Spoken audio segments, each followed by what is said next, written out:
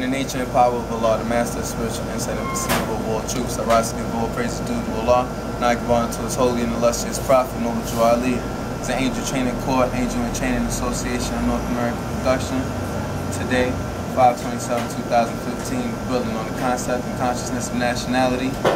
Canceled it at the uh, venue where I hosted at, because you know I do pay for that, and it wasn't too many people coming through. So I said, you know what, I just build with the 5% and uh, we're here now. We're still on 125th. You can catch us if we're not on Madison. Um, we're not on Madison on 125th in the Uptown Juice Bar. You find us in Ja Lookover. You're gonna find us in Harlem in a in a place that's owned by our people before anything. Um, we're gonna start off with a definition of corporation so that we can understand what the difference is between a corporation and a country is from a legal standpoint as well as in a colloquial conversation standpoint and that we can apply the concept of corporations so that we know that they're not a negative uh, entity or something to be uh, something to look at with a negative light, but something that can actually be used um, for positive purposes, as well as an integral part of American society. So we're gonna um, check out corporation first in the American Heritage Dictionary from two, the year 2000, American Heritage College Dictionary. All the uh, doctors and men of letters out there uh, MDs and MS and Ds and Ds and people with their BS, Bachelor of Science, uh, corporation.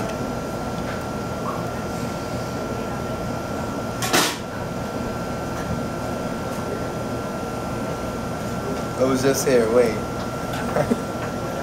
a body that is granted a charter legally recognizing it as a separate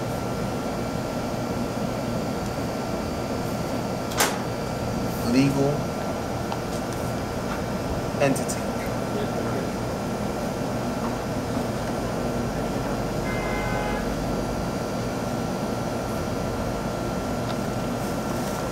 corporation, a body that is granted a charter legally recognizing it as a separate legal entity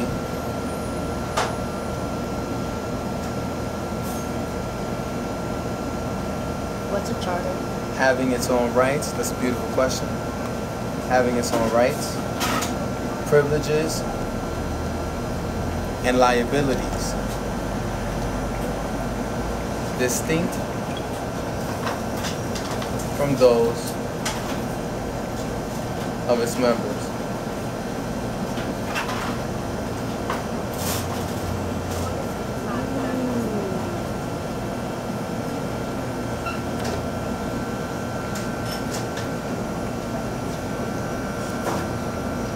A charter is a document granting authority, and authority is the uh, capacity to act within a jurisdiction. We're going to look up a, a dictionary definition just so that we can have a, you know, just so that we can have a concrete or definite understanding. Know, dictionaries are supposed to take the guesswork out of language. That's how the first English dictionary was manufactured in 1828 uh, by Noah Webster.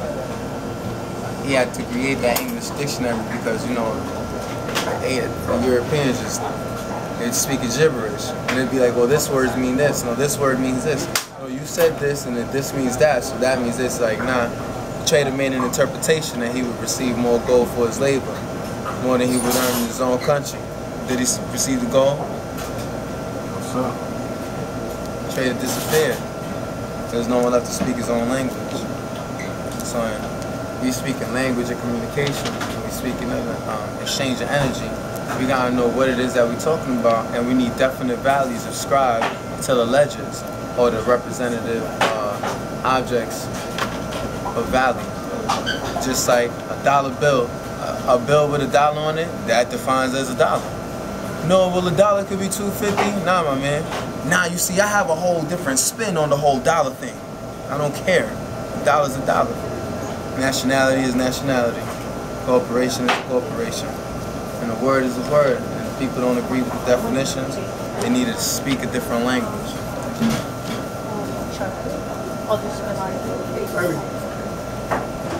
A charter.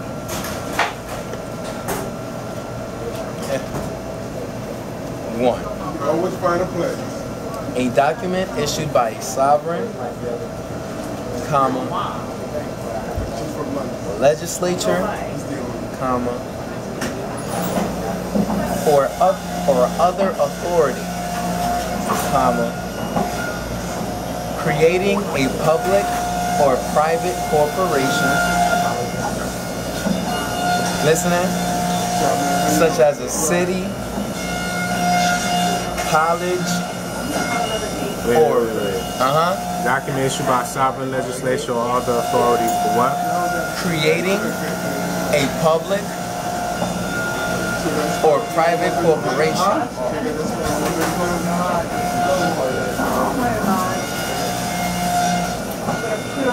such as a city,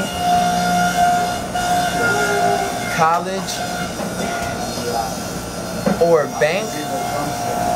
And listen to this. And defining its privileges and purposes. In layman's terms, or in plain English, a charter oh, is the paper breaking down whatever institution you have, what it does, and what it's for.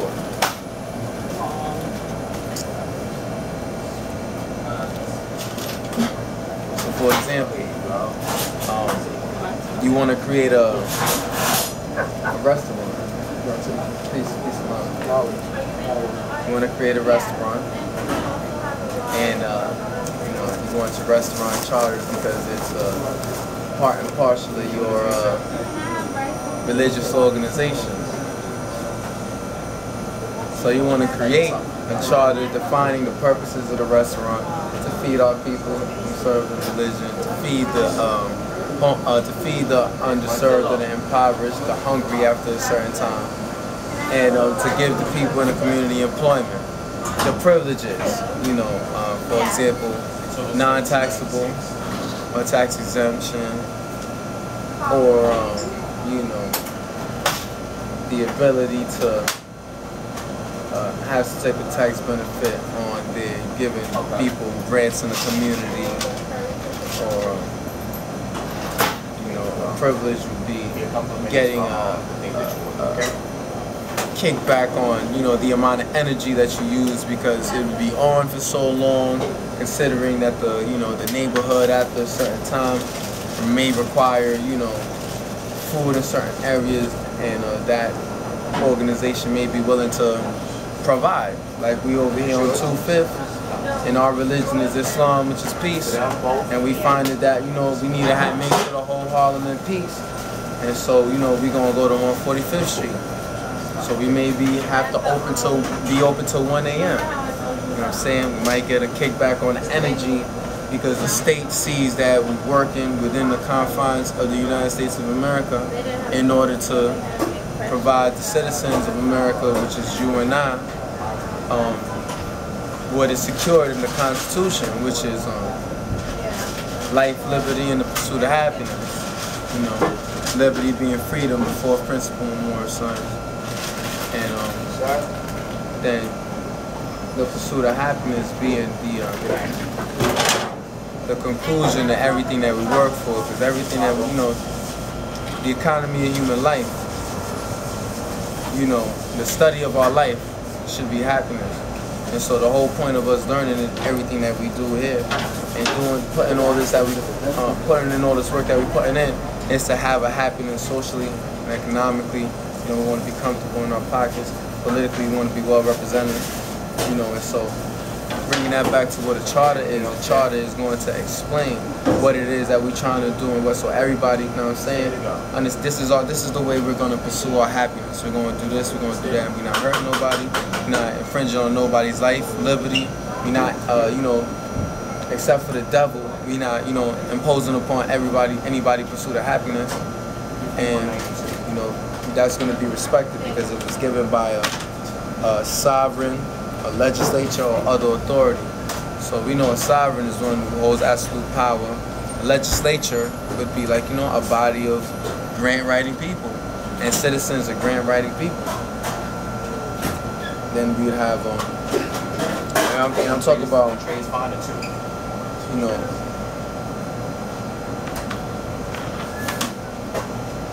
we were, when, when you write laws as, you know, legislators, you know, you have like elected officials be legislators, but you also have lobbyists. But it all starts with the community. The community comes together. They know what laws apply to their community at that time, and they're able to exercise those laws and then impose those laws until they have an actual order to it. And the actual order to it is known as the legislature or the Senate things of that nature. The legislative body or the branch of government, for example. Now, the second definition for charter is a written grant from the sovereign power of a country. Of a country. Not a corporation. Of a country. Conferring certain rights and privileges on a person, a corporation, or the people.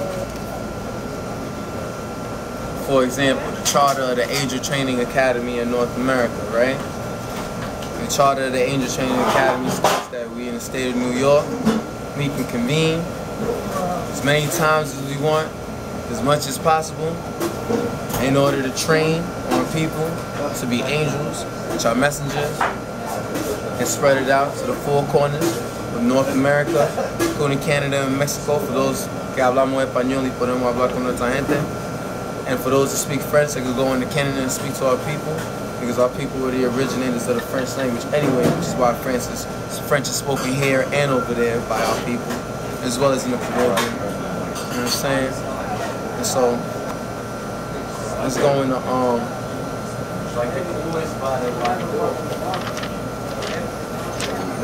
country right quick since country was Right, right.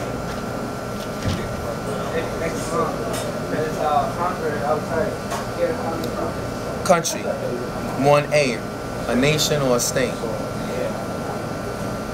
Now in the american dictionary nation and country are synonymous but we know legally that's not right and exact. You know what i'm saying? We already showed and proved that two weeks in a row when it said that a nation was the people and that the country was the actual portion of the earth inhabited by the people people don't inhabit themselves i mean not for too long anyway people die I'm saying we like right now this nation is inhabited by so many other nations that our nation is now stateless. So now we're a nation in a foreign country. Well what happened to our former country?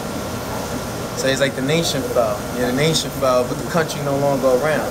I mean the nation no longer around? Radically no. We all sitting right here sitting there right now. We ain't disappeared. The Moors after 1492, they ain't just disappeared. They ain't just write them out of history. You know where they went? They went to the Bronx. They went, they're saying Islam more. Islam. Peace. All right. You gonna stop giving to these secluded meetings? How y'all do? Hey, so pull up, um, if you can't pull up, seat right here. Right behind, um, sis. They gonna, they gonna tell you something about saying right here. Sit right here. Hey, Let me see. No, people gotta walk there too though, so they might. It's so loud too. It's not Yeah. gonna work. Big boy style, right? What color does it Try right there, girl. Sit right here.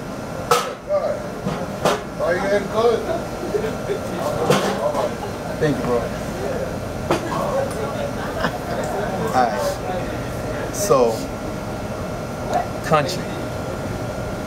Two, the territory of a nation or state. Semicolon, land.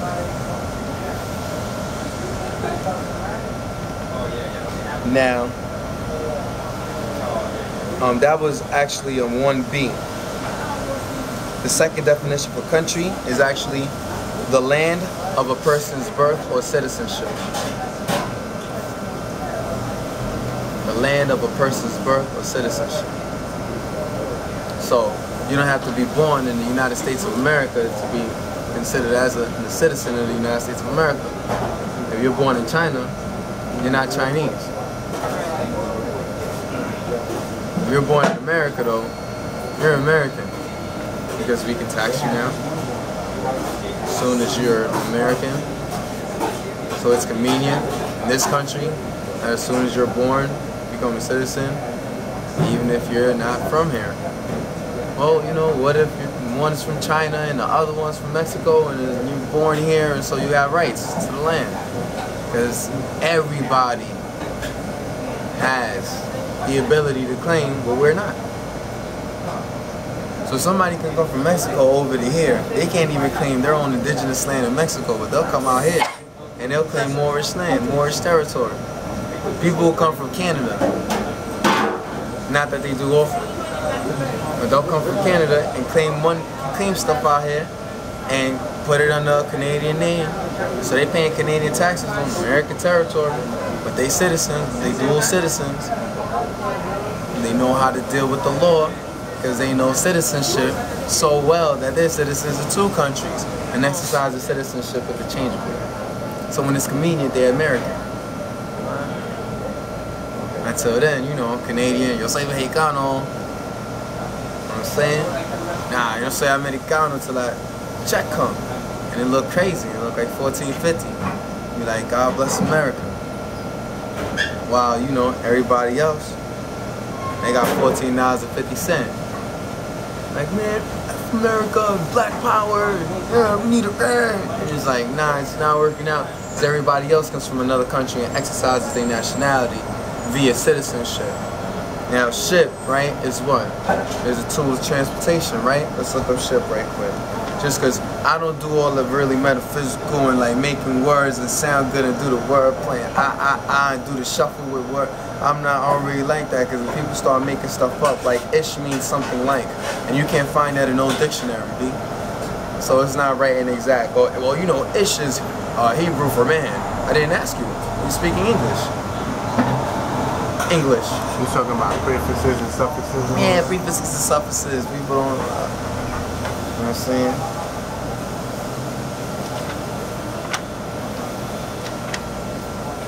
But a ship is definitely, you know, a method of transportation. So citizenship is how you navigate your navigation and relation. What is nat- What is nationality? Legal versus legal relationship to A, a legal what? relationship. Relationship. What do you mean? It's early still. A legal relationship between person and state. Relationship. That ship. Oh. Relationship. Relate- Citizen. how you relate. Citizen. Ship.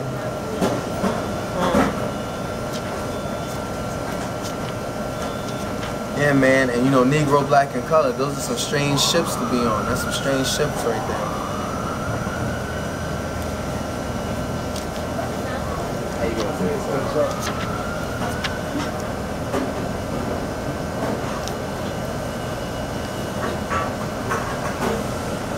Ship, a vessel of considerable size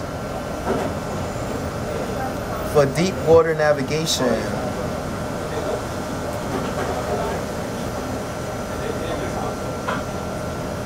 Okay.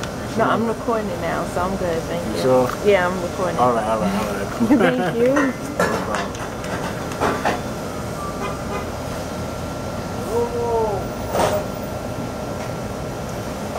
Ship as a suffix. 1A. Quali- quality, state, or condition. Ship. Ship. That's not the noun, that's just the suffix. That's the suffix. Like receivership, partnership. you know. Citizenship, relationship, membership.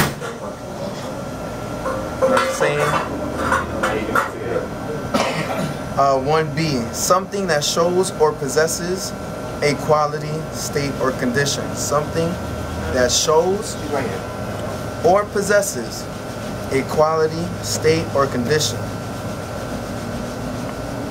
Watch this. The second definition rank, status, or office. And we know citizenship, you're holding a political office. A political office is that of a person. A person is one with the legal capacity of a of a citizen. Because if you're not a person, you're not recognized by law. But person, But there's different kinds of persons. a person can also be a corporation, A person is a corporation. corporate entity. Because when we look up person in the dictionary, let's look up person in the dictionary. You look up somebody look up person in the dictionary. I want to see. You already know. I wanted to see somebody's face. Know what I'm saying? Because after you get past the human being, you know, it starts going into. See, one of the things that I always wondered about before understanding is why did the Nation of Islam say that Allah came in the person of Master Fard Muhammad? And I'm like, in the person? Dang, what that mean? Allah came in the legal representative entity of Master Fard Muhammad. So then that means the law comes in many persons, many legal representative capacity.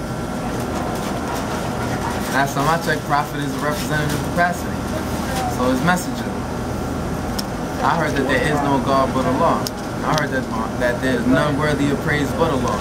Then turn around and his messenger's name means worthy of praise. I'm just trying to put two and two together.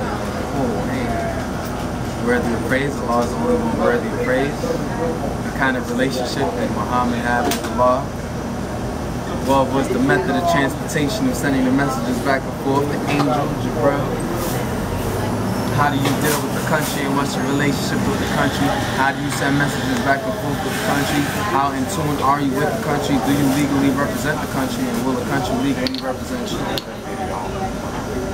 But you can't legally represent the country unless you're a barrister. You know what I'm saying? And they license you for that. And it's very hard to sue the very hard to sue the government. Like it's not easy. You can't just. you Isn't the government sovereign? Well, I mean, it's, the government does have certain aspects of sovereign power and jurisdiction. You Right. know what I'm saying? Through the, you know, the territories and what the actual collective is comprised of, like with the United States. Right. You know what I mean? But So it would require like a sovereign entity It's- to sue the sovereign it, entity. it still functions in a corporate capacity, acknowledging its distance from it. That's why through citizenship they acknowledge you as a corporate entity to do the same for you. Right, They don't want you exercising that same ability. right. Because they have to make a difference between man and the law. Right. American, America. Like how my grand sheik said, that was fire. He said, you a drop in the ocean. So now you the ocean? Because you came back to the ocean, now you a drop in the ocean.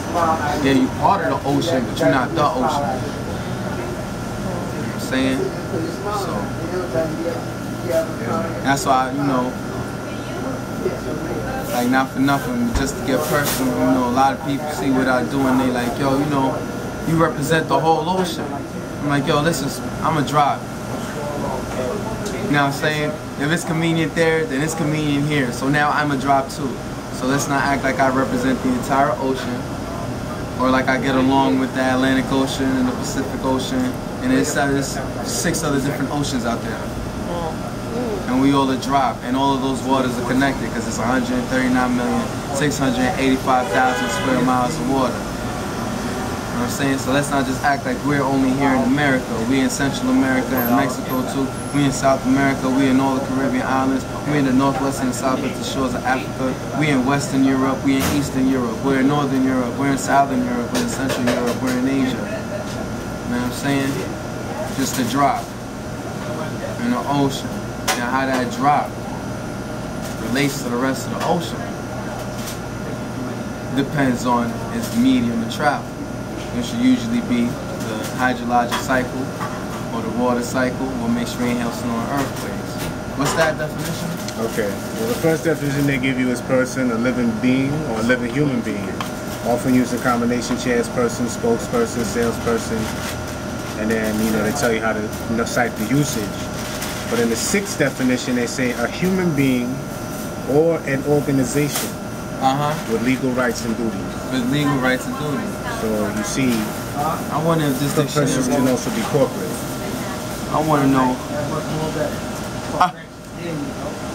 The second definition, a person is an individual of specified character.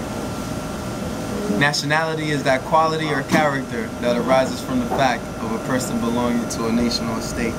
So, an individual or specified character. Now, a nation is known as a person with a will of its own. Vattel says she has her affairs in order. Her is a that's a that's a per you don't call inanimate objects. It.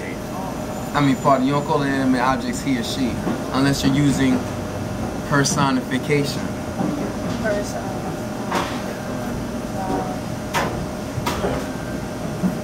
What you're seeing, like, I mean, they give it to you six definitions down, but there's a difference between what you would figure colloquial speech and then legalese. Because in the legalese, they give you a more strict uh, definition of how those, like a person's capacity to function.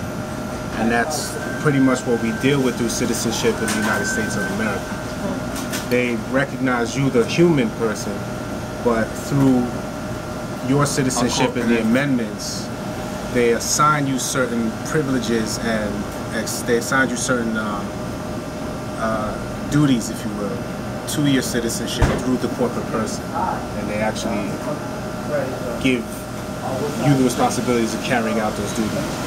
You know, it's called due process.